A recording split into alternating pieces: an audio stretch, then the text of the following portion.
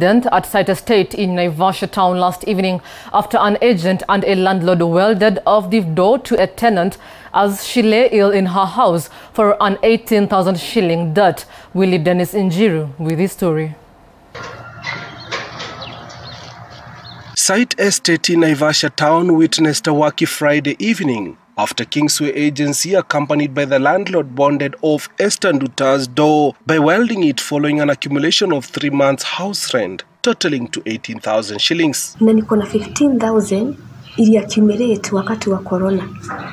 Wakati wa corona tulisimama kazi, so hiyo deni hata ilikuwa mo, tukaenda tukaagree, nitakuwa nalipa nikilipa house rent na reduce ile deni ya wakati wa corona. Nimekuwa nikifanya hivyo juu ilikuwa juu na imeteremka, na nilikuwa nimepanga niki, before the end of this year ni, ni hiyo deni nimalize, nisiuke mwaka na hiyo deni yao.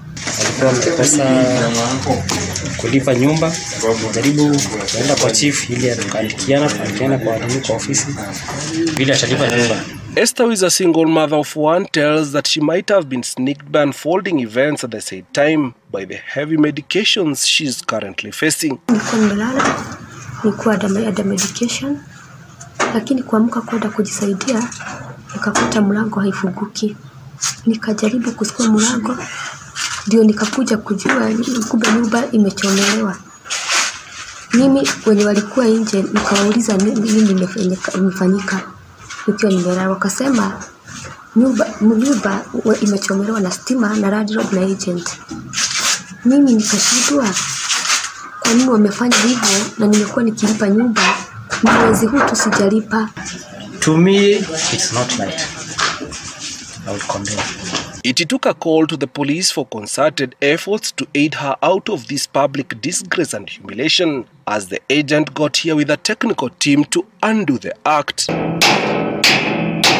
Nikapiga simu kwa station nikuje nisaidie niweze kutoka kwa nyumba na mtoto wangu pia aweze kuingia kwa nyumba, na tena mtu mwingine asioipitia hii kitu. Hii sio kitu mzuri hata kidogo.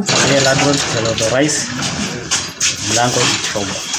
So we didn't know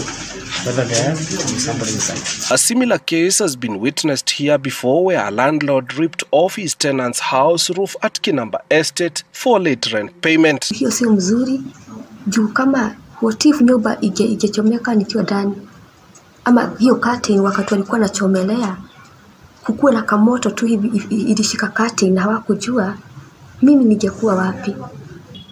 Kama agent and landlords, let's tusikue hivyo. Hata nikikwambia sina pesa for sasa na nimekuwa nikilipa vizuri, usi, usifanyie mtu hivyo, kwani kuchomelea inaonyesha nini?